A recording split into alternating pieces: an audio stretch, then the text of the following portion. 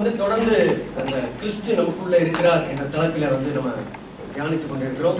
அந்த அடிப்படை வசனத்தில் வசனத்துல எதுல ஆரம்பிச்சோம் அப்படின்னா கொலோசியம் ஒன்று இருபத்தி ஏழுல யாராவது எடுத்து வாசிங்க. ஒன்று இருபத்தேழு கொலோசியர் ஒன்று இருபத்தேழு. அதான் வந்து நம்மளுடைய அடிப்படை ஆதார வசனம். அதுல இருந்து நம்ம அநேக சிறு சிறு தலைப்புகளை வந்து நம்ம பார்த்து கொண்டே இருக்கிறோம் கிறிஸ்து விளங்கிய இந்த மகிமையின் ஐஸ்வர்ய தேவன் நம்முடைய பரிசுத்தவான்களுக்கு தெரியப்படுத்த சித்தமானார். கிறிஸ்துவானவர் மகிமையின் நம்பிக்கையாக உங்களுக்குள் இருப்பதே அந்த இந்த அந்த ரகசியம். ஆமென். கிறிஸ்துவானவர் மகிமை நம் நம்பிக்கையாக உங்களுக்குள்ளே நம்மளுக்குள்ளே எனக்குள்ளே உங்கள் ஒருவருக்குள்ளே இருப்பது அந்த ரகசியம். அந்த ரகசியம் வெளிப்படுத்தப்பட்டது என்ற தலைப்புல வந்து நம்ம பார்த்தோம். லா- போன வாரத்துல வந்து என்ன பார்த்தோம்னா நம்ம வந்து இரண்டு குருந்தியர்ல ஐந்து பதினேழு வந்து பார்த்தோம். அஹ், இப்படி இருக்க. எப்படி இருக்கன்னா எல்லாம் புதிதாக இருக்க.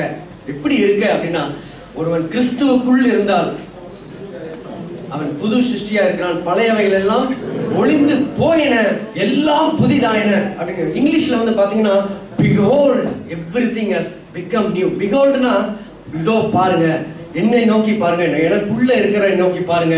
எனக்குள்ள இருக்கிற பாவம் உச்சி நோக்கி பார்ப்போம். அத அப்படியே கண்ணை எடுக்காம அதே உள்ள இருக்கிறவரை உள்ள இருக்கிறவரை நோக்கி நோக்கி நோக்கி நம்ம பார்க்க பார்க்க பார்க்க உள்ள இருக்கிறவர் நம்ம மூலமாக வெளிப்படுங்க வல்லவராக இருக்கிறார். அல்லேலூயா நம்ம எப்போ வந்து பார்க்க பார்க்க பார்க்க தான் வந்து உள்ள இருக்கிறவர் கிறிஸ்துவானவர் நம்மளுக்கு மூல மாக வந்து மற்றவர்களுக்கு ஆசீர்வாத வாய்க்காலாக ஓடுவராக இருக்கிறார். அல்லேலூயா இல்லையா அப்போ எல்லாம் புதிதாயின அப்படின்னு பார்த்தோம் என்றால் அடுத்த வசனத்துல அதுக்கு பதில் இருக்கு பாருங்க. அடுத்த வசனத்துல பதினெட்டாம் வசனத்துல இரண்டு குழந்தையர் ஐந்தாம் வசனம் ஐந்தாம் அதிகாரத்துல பதினெட்டுல இவையெல்லாம் தேவனாலே.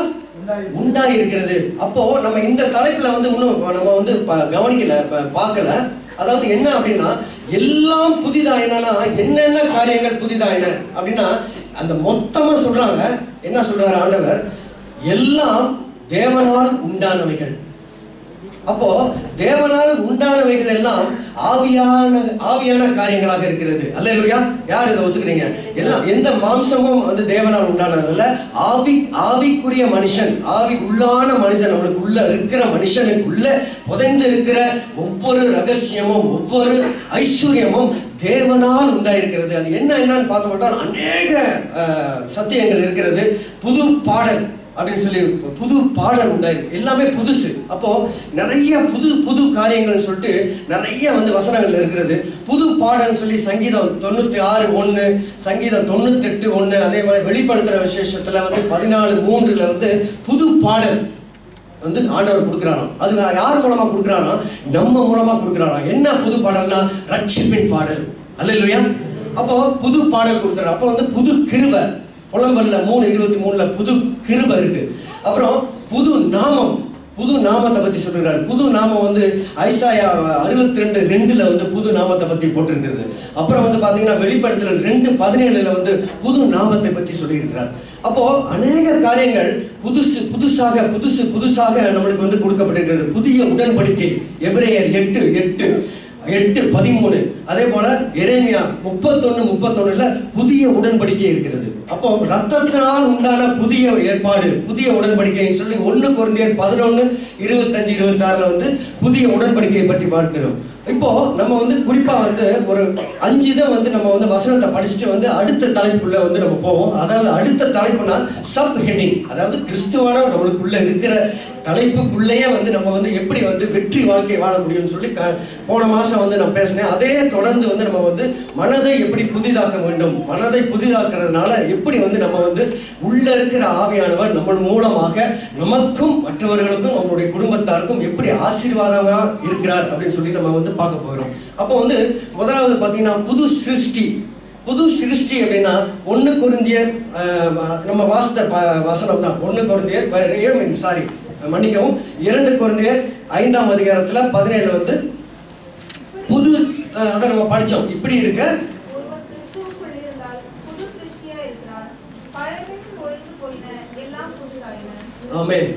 பாத்தீங்கன்னா நம்பர் ஒன்று வந்து புது சிருஷ்டி. அப்புறம் வந்து பாத்தீங்கன்னா புது மனிதன். புது மனிதன் அப்படின்னு பார்த்தோம்னா எபேசியர் ரெண்டு பதினைஞ்சு எபேசியர் நாலு இருபத்தி நாலு அதே போல கொலோசியர் மூணு பத்து. இது மூணு வசனத்துல ஏதாவது ஒண்ணு எடுத்து படிங்க. இதுல வந்து புது மனிதனை பத்தி நம்மளுக்கு போட்டிருக்கு. மெய்யான நீதியிலும் மெய்யான நீதியிலும் பரிசுத்தத்திலும் பரிசுத்தத்திலும் தேவனுடைய சாயலாக சிருஷ்டிக்கப்பட்ட தேவனுடைய சாயலாகவே சிருஷ்டித்த புதிய மனுஷனை தரித்து புதிய. மனுஷனை தரித்துக் கொள்ளுங்கள். யாருடைய சாயலாக நம்ம தரிக்கப்பட்டிருக்கிறோம்? உள்ளான மனிதன் தேவனுடைய சாயலாக அந்த தேவனுடைய சாயல் என்னன்னு சொல்லி அந்த ஒரு வரிக்கு முன்னாலே போட்டிருக்கு. மெய்யான நீதியிலும் மெய்யான பரிசுத்தத்திலும் அவர் நீதியான தேவன் அவர் பரிசுத்தமான தேவன். ஆனால் நம்ம பாவியாக இருக்கும் பொழுது நம்மளுக்காக கிருபையின் நிமித்தமாக நாம் செய்த ஊழியத்தினால அல்ல நாம் செய்த பரிசுத்தத்தினால அல்ல என்னுடைய நன்மையினால அல்ல நான் செய்த கிரியையினால் அல்ல அவருடைய கிருபையினால அவர் இறங்கி வந்து எனக்காக அந்த கிறிஸ்துவானவரை ம- மகிமையின் நம்பிக்கையாக நம்மளுக்குள்ள வாசம் செய்ய வைத்திருக்கிறார். ஹalleluya ஹalleluya கரங்களை தட்டி அவர் நன்றி சொல்லுவோமா? அப்போ புது மனிதன் புது மனிதனை பத்தி பார்த்தோம். வசனத்தை வாசித்தோம். அப்புறம் புதிய ஜீவன் பாருங்க புதிய ஜீவன். ரோமர் நாலு ஆறு நாலு. ரோமர் ஆறாம் அதிகாரத்தில் அதிகாரத்துல நாலாம் வசனத்துல புதிய ஜீவன் நியூனஸ் ஆஃப் லைஃப் அப்படின்னு சொல்றாங்க. இங்கிலீஷ்ல பாத்தீங்கன்னா எப்போ ஒருத்தர் கிறிஸ்துவுக்குள்ளாக மறித்து கிறிஸ்துவுக்குள்ளாக உயிர் தெழுதப்பட்டார்களோ அவர்கள் புதிய எப்படி வந்து ஜீவனோட வந்து உயிரோட எழுந்து புது ஜீவனோட இயேசு கிறிஸ்து வெளியே வந்தாரோ அதே ஜீவனோட நாமளும் நீங்களும் இன்று அவருக்குள் பிறந்தவர்களாக இருக்கிற எல்லா விசுவாசிகளும் புதிய ஜீவனை பெற்றிருக்கிறோம். அதனால வாசிங்க வசனம்.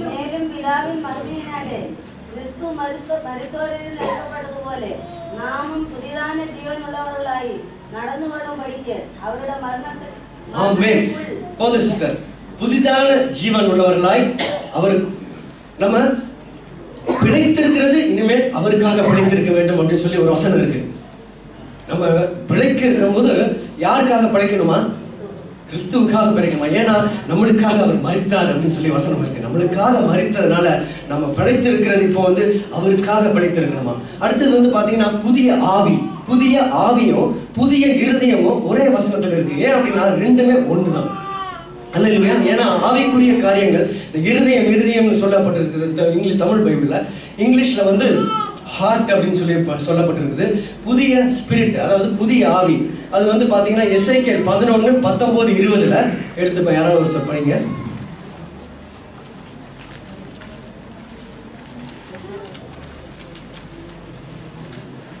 அவர்கள் என் ஜனமாயிருப்பார்கள். அவர்கள் என் ஜனமாய் இருப்பார்கள் நான் அவர்கள் தேவனாயிருப்பேன். நான் அவர்கள் தேவனாய் இருப்பேன் ஆனாலும் ஆனாலும் சீலேந்தி சீலேந்தி கலப்படத்தக்கதாகும்.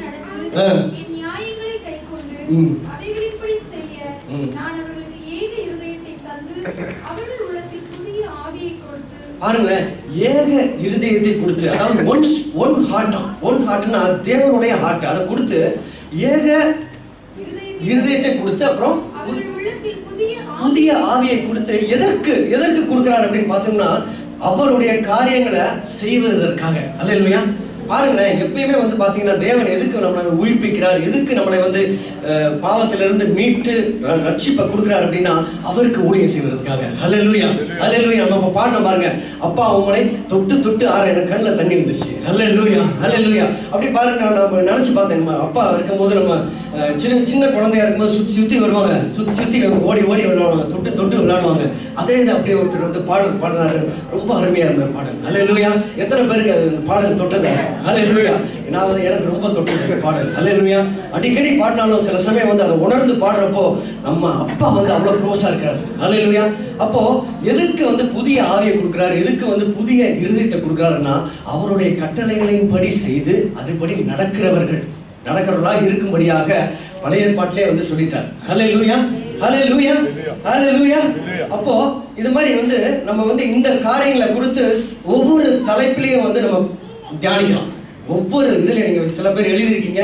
எழுதி வச்சு நீங்க அதுல இது பண்றப்போ அதுல ஒரு ஆண்டவர் வந்து ஒரு மெசேஜ் கொடுப்பாரு. அதுல வந்து நாலு பேருக்கு ஆசீர்வாதமா இருக்கிறதுக்காக கொடுப்பார். புதிய புதிய இருதயம் புதிய ஆவி புதிய பாடல் புதிய நாமம் அப்புறம் புதிய வாசல் கூட இருக்குது. புதிய வாசல்.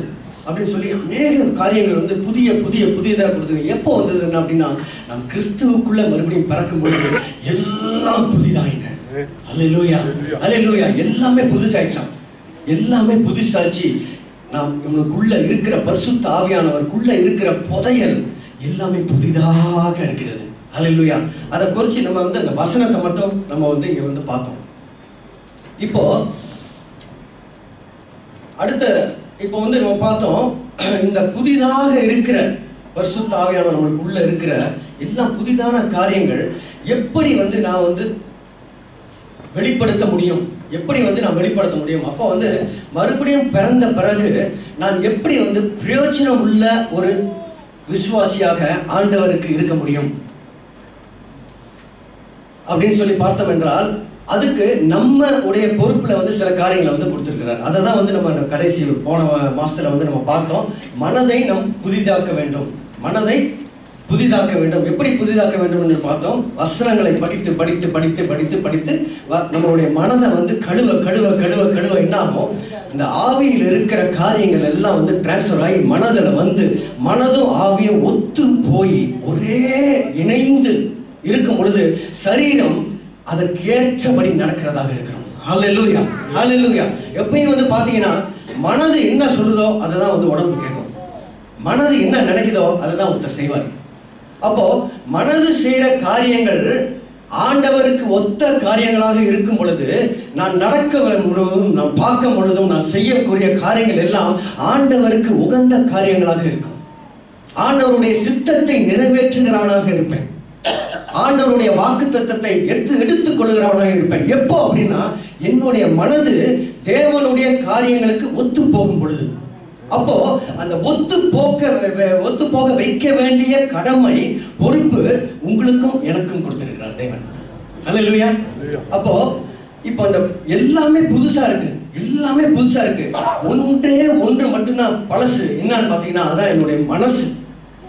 அதாவது ஆத்மா சம்பந்தப்பட்ட காரியம் மட்டும்தான் பழசா இருக்கு. மற்றது எல்லாம் உள்ள புதுசாக இருக்கிறது. அப்போ அந்த புதுசா இருக்கிறது வாங்கி வச்சு நம்ம பாருங்க ஒர்ஷிப் பண்ணிட்டு இருக்கும்போதும் இந்த இந்த சம்பவம் எனக்கு ஞாபகம் வந்துச்சு. ஒரு வாஷிங் மிஷினை வாங்கி அது வந்து two hundred and twenty volts தானே இருக்கும். நம்ம ப்ளக்ல போடுறப்போ. அப்போ அந்த புது வாஷிங் மிஷினாக இருந்தாலும் அந்த அந்த ப்ளக் எடுத்து நம்ம அந்த சாக்கெட்ல போடுறப்போ டூ டுவெண்ட்டி வோல்ட்ஸ் இருந்தால் தான் அது ஏன் இல்லையா? அப்போ வந்து நூத்தி பத்து வோல்ட் இருந்துச்சுன்னா அது வந்து இயங்காது. அதே போலதான் நம்மளுடைய ஆவி வந்து புதுசாக இருக்கிறது. வாஷிங் மிஷின் மாதிரி புதுசாக இருக்கு. எல்லா தேவனுடைய வல்லமையும் கிருபையும் இறக்கங்களும் அவருடைய கம்பேஷன் அவருடைய லவ் எல்லாம் உள்ள இருக்கிறது வந்து எப்போ யூஸ் ஆகும்னா என்னுடைய பிளக் எடுத்து நான் ஆண்டவருடைய வசனங்களில் இணைக்கும் பொழுது அப்போ என்னுடைய மனது மூலமாக என்னுடைய சரீரம் செயல்பட தொடங்கிறது அல்ல இல்லையா அஹ், ரோமர் பன்னெண்டாம் அதிகாரம் ஒன்று இரண்டு. அப்படி இருக்க சகோதரரே நீங்கள் உங்கள் சரீரங்களை பரிசுத்தமும் தேவனுக்கு பிரியமான ஜீவ பலியாக ஒப்பு கொடுக்க வேண்டும் என்று தேவனுடைய இரக்கங்களை முன்னிட்டு உங்களை வேண்டிக் கொள்கிறேன். இதுவே நீங்கள் செய்யத்தக்க புத்தியுள்ள ஆராதனை. அப்போ கடைசி போன வாரத்துல வந்து பார்த்தோம் ஒரு அஹ், பட்டா அஹ், ப- ம- பட்டாம்பூச்சி இல்ல அது எப்படி சொல்றது? பட்டத்து பட்ட வண்ணத்து பூச்சி. வண்ணத்து பூச்சி. அந்த வண்ணத்து பூச்சி வந்து வண்ணத்து பூச்சியாக மறுரூபம் ஆகி அந்த ரெக்கையெல்லாம் முளைச்சி வந்த பிறகு அது வந்து அந்த தேனை தான் சாப்பிடுது. ஏன்னா திருப்பி போயிட்டு இலையை சாப்பிட முடியாதுன்னு பார்த்தோம். ஏன்னா மறுரூபம் ஆயிடுச்சு. மறுரூபம் ஆயிடுச்சு. அதே போல வந்து நம்ம மறுரூபம் ஆவறதுக்கு முன்னாக என்னன்னு பார்த்தோம்னா புத்தி உள்ள ஆராதனை அப்படின்னு சொல்லப்பட்டிருக்கிறது புத்தி உள்ள ஆராதனைனா ஒரு புத்தி உள்ள ஆராதனைக்கு பார்த்தீங்கன்னா எப்பயுமே வந்து ஒரு ஒரு பலி செலுத்த வேண்டியதாக இருக்குது அதான் வந்து தேவனுடைய நியமமாக இருக்கிறது. எங்க எங்க ஆராதனை இருக்கோ நீங்க பைபிள் எடுத்து படிச்சு பாருங்க. எங்க எங்க ஒரு உள்ளத்துல இருந்து ஒரு ஆராதனை இருக்கோ அங்க ஒரு சாக்ரிஃபைஸ் உண்டாயிருக்கு. அங்க ஒரு பலி செலுத்தப்பட்டிருக்கிறது. அதனாலதான் அஹ், வந்து என்ன சொல்றாரு? மோசைகிட்ட என்ன சொல்றாருன்னா மூன்று பன்னெண்டு யாராவது எடுத்து படிங்க. மூன்று பன்னெண்டு. அவர் நான் உன்னோட இருப்பேன். நீ ஜனத்தை எகிப்திலிருந்து அழைத்து வந்த பின் நீங்கள் இந்த மலையில் தேவனுக்கு ஆராதனை செய்வீர்கள். நான் உங்களை அனுப்பினேன் என்பதற்கு இதுவே அடையாளம். அதாவது தேவன் உங்களை தெரிஞ்சு கொண்டார் தேவன் உங்களை அழைத்தார் தேவன் உங்களை தொட்டார் தேவன் உங்களை ஆசீர்வதித்தார் என்பதற்கு ஒரே அடையாளம் என்ன அப்படின்னா நான் தேவனை ஆராதிக்கணும் அல்லேலூயா எத்தனை பேர் விசுவாசிக்கிறீங்க. அதாங்க வசனம். அதான் இப்ப நம்ம பார்த்தோம். தொட்டு தொட்டு ஆராதனை ஆராதனை தாங்க வாழ்க்கை.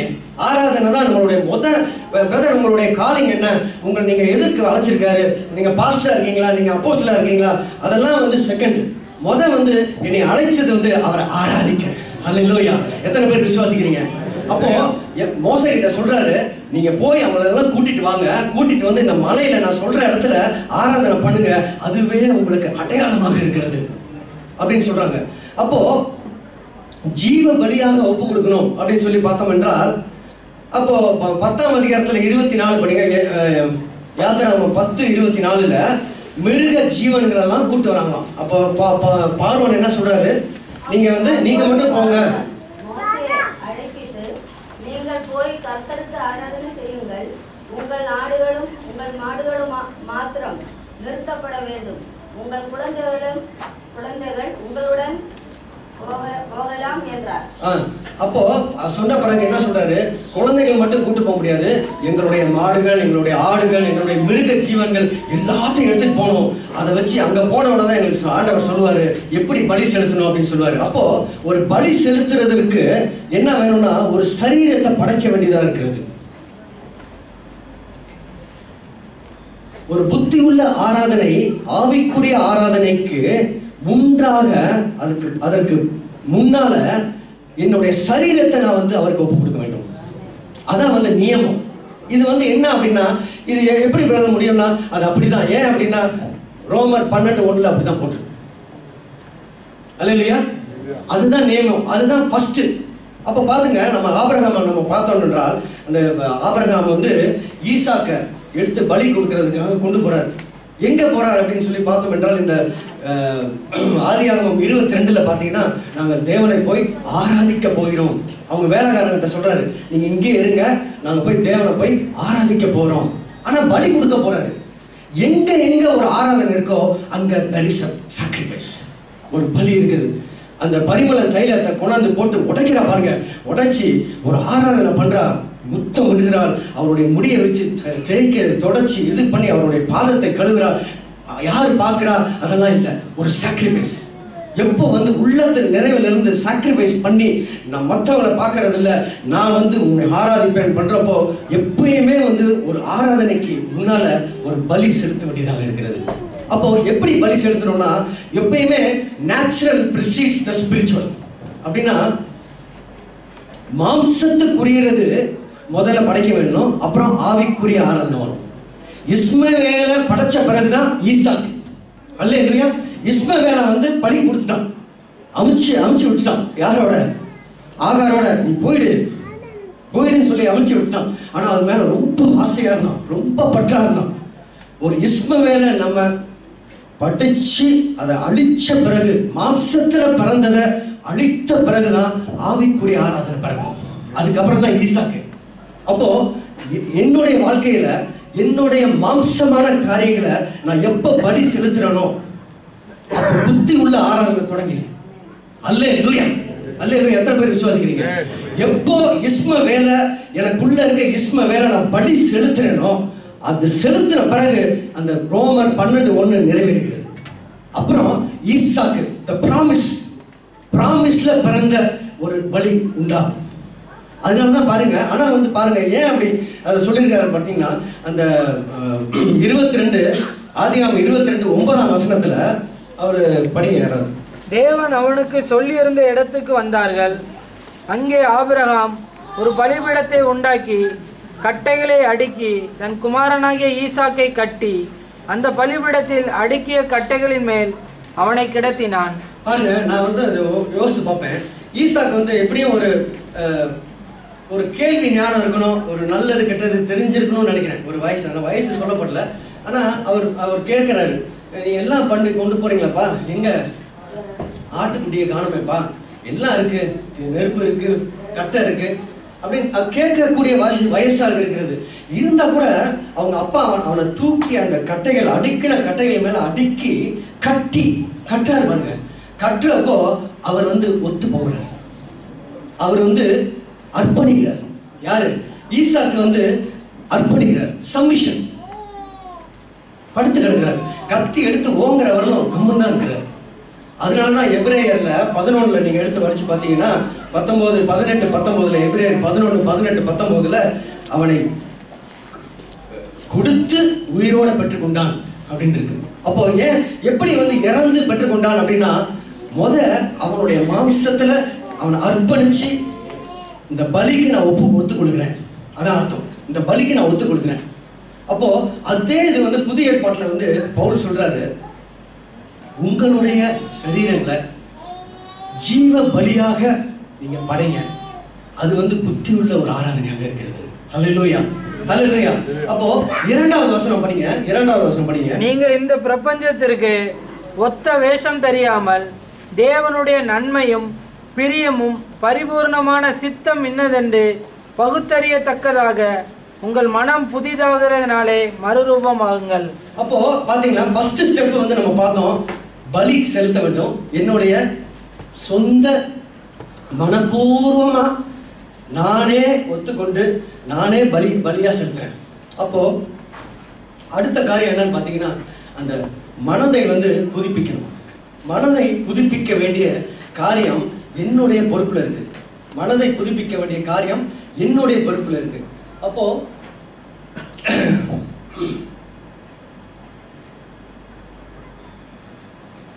கொஞ்சம் பெருசு பண்ணுங்க இப்போ இந்த பழைய மனுஷன் பாருங்க அந்த மூணு வட்டம் நான் போட்டிருக்கேன். நடுவுல இருக்க ஆவி வந்து ஆவி ஆத்மா சரீரம். இதான் வந்து அந்த வரிசை வரிசை. ஆவி ஆத்மா சரீரம். இதுல நடுவுல இருக்க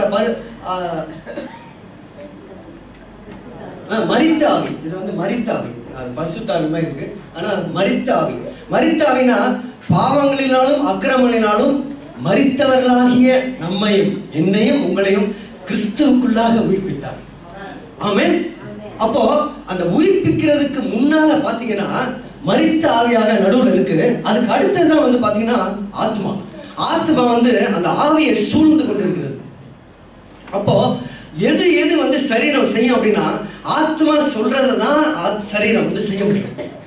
அப்போ இந்த உலக பிரபஞ்சத்துக்குரிய அதிகாரியினுடைய ஆவியின்படியே நடந்து வந்தோம் சொல்லி எபேசியர் ரெண்டு ஒன்னு ரெண்டு மூணுல வந்து சொல்லப்பட்டிருக்கிறது. தேவன் சொல்றாரு எந்த ஆவி மூலமா? உலகத்தில் இருக்கிற அந்த பிரபஞ்சத்தின் அந்த அதிகாரியினுடைய ஆவியின்படியே நம்ம நடந்து வந்தோம். அல்லையா அதேபடி நடந்து வந்தோம். எப்போ அப்படின்னா மறுபடியும் பிறப்பதற்கு முன்றாக. அந்த நிலைமை தான் வந்து இது. பழைய மனுஷன். அது அப்படியே கொஞ்சம் மேல போகும்போது பார்த்தீங்கன்னா மறித்த ஆவியாக இருக்கிறது கிறிஸ்துவை அறியாத ஆவி தேவனற்ற ஆவியாக இருக்கிறது. தேவனுக்கும் நம்மளுக்கும் புறம்ப அதாவது நம்மளுக்கும் தேவனுக்கும் சம்பந்தமே இல்லாமல் இருந்தோம் முதல்ல மறி அதாவது மறுபடியும் பிறப்பதற்கு முன்பாக ஆத்மா வந்து பார்த்தீங்கன்னா மனத மனது சம்பந்தப்பட்டதாக இருக்கிறது. அடுத்தது வந்து சரீரம் பார்த்தீங்கன்னா ஐம்புலன்கள் ஐந்து புலன்கள் நம்ம பார்க்கக்கூடியது டேஸ்ட் பண்ணுறது தொடக்கூடியது உணரக்கூடியது. இதெல்லாம் வந்து சம்பந்தப்பட்டது வந்து சரீரமாக இருக்கிறது. அல்லையா அப்போ இதான் வந்து பழைய மனிதனுடைய ஒரு நிலைமையாக இருக்கிறது. அப்போ எல்லாம் புதிதாக பார்த்தோம் பார்த்தோம். அது தேவனால் உண்டாக்கப்பட்டது. எல்லாம் புதிதான காரியங்கள் எல்லாம் ஆவிக்குள்ளான காரியங்களாக இருக்கிறது. உள்ளான மனுஷனுடைய ஆழ்த்தத்துவம் தான் ஆவிக்குரிய மனுஷனாக இருக்கிறார். அதுக்குள்ளதான் நம்ம மறித்த ஆவிக்குள்ள வந்து கிறிஸ்துவானவர் உள்ள வரும்போது அப்படி உயிர் பெற்று நான் கிறிஸ்துவுக்குள்ள ஒரு புது உயிரை பெற்றுக் கொண்டிருக்கிறேன். அப்போ ஏன் அந்த அந்த புது உயிர் வந்தவுடனே நான் தேவனுக்காக நடக்க கடமைப்பட்டிருக்கிறேன். தேவனுக்காக உழைக்க தேவனுக்காக நான் இது பண்ண அப்போ எப்படி வந்து தேவனுக்காக பண்ண முடியும் யார் சொல்லித் தருவா?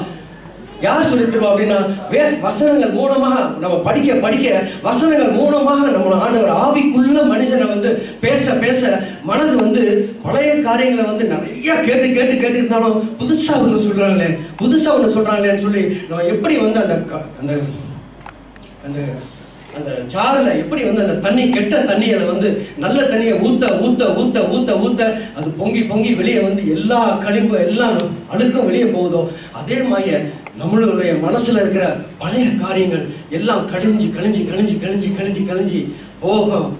கூடிய காலம் வரும் பொழுது ஆவிக்குரிய காரியங்கள் என்னுடைய மனதுடைய காரியங்கள் ஒன்றாக இணையும் பொழுது நான் தேவனுக்காக வாழ ஒரு வழி பிறக்க கால- காலமாக இருக்கிறது.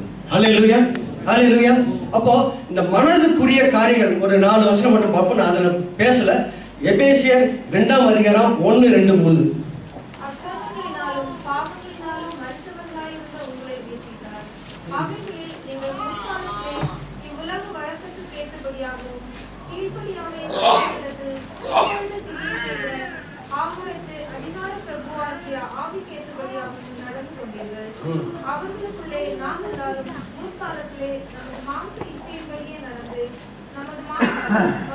பாருங்க மாம்ச மா- மா- மாம்சமும் மனசும்.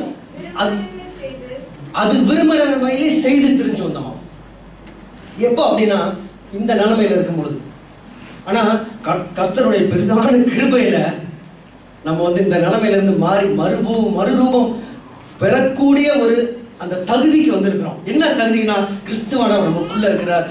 மறித்த ஆவி உயிர்த்த ஆவியாக இருக்கிறது நம்மளுக்குள்ள. அல்லே லூயா அல்லே லூயா அப்போ நான் இதை படிச்சுட்டு இருக்கும்போது எப்படி ஆச்சுன்னா பி யுனைடெட் அப்படின்னு ஒரு கம்பெனி இருக்கு. நிறைய பேர் தெரியும் பி யுனைடெட் எப்படின்னா நாலு கிறிஸ்துவம் ஒரே கம்பெனியா இருக்கு. அப்போ நான் அப்படி பார்த்துட்டே இருந்தேன் ஹவு யுனைடெட்னு ஒரு கம்பெனி இருக்கு. ஹவு யுனைடெட் இருக்கா இல்லையா? முதல்ல பி நான் படிச்சுட்டே இருக்கேன் பாருங்க. பி ஒரு ப- ஒரு ப- பைபிள்ல போட்டிருக்கு because of the union with Christ because of your union with Christ என்னன்னு எங்கேயோ கேட்ட மாதிரி இருக்கு. We united company we united company என்ன அப்படி வி யுனைடெட் கம்பெனியில் நான் எப்படி இருக்கேன் அப்படின்னா கிறிஸ்துவ நானும் ஒரே யுனைடட் யுனைடெட் கோ அப்புறம் திருப்பி பார்த்தேன் ஹவு யுனைடெட் அப்படின்னு ஒரு கம்பெனி இருக்கு. அதான் பார்த்தீங்கன்னா எபேசிய ரெண்டு எட்டு.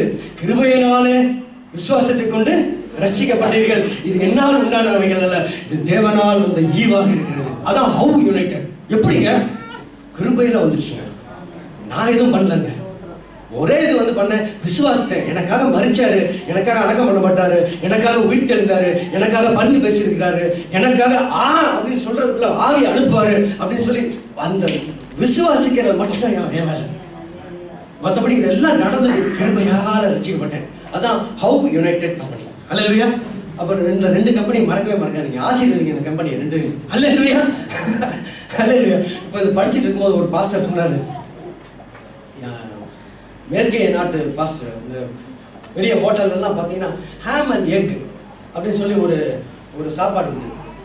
அதாவது இந்த பன்றி உடைய கறியில் இந்த வால் மாதிரி இது பண்ணி அதை நல்லா ஃப்ரை பண்ணி ஒரு ஆஃப் பாய் அதை போட்டு ரெண்டு அது வந்து ரொம்ப ஒரு ஒரு டேஸ்டான ஒரு ஒரு டிஷ்ஷு அப்போது ஒரு கோழியும் ஒரு பன்றியும் வந்து நடந்து போயிட்டு இருந்துச்சான் நடந்து போயிட்டு இருக்கும்போது ஒரு பாஸ்டர் தன்னைத்தானே சோதித்தறியுங்கள்.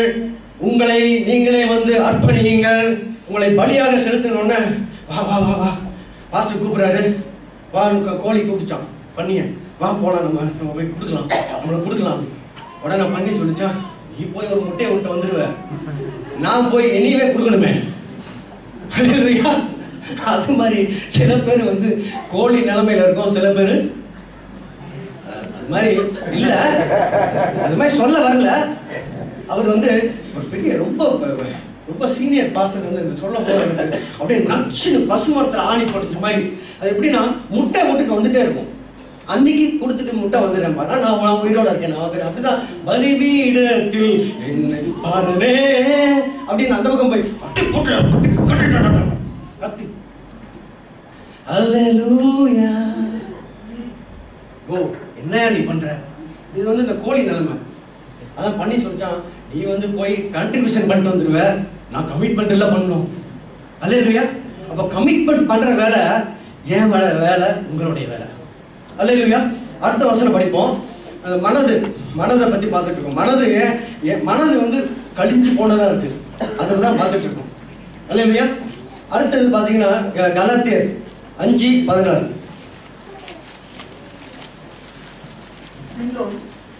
நான் சொல்லுகிறது என்னவென்றால் ஆவியேற்றபடி நடந்து கொள்ளுங்கள்.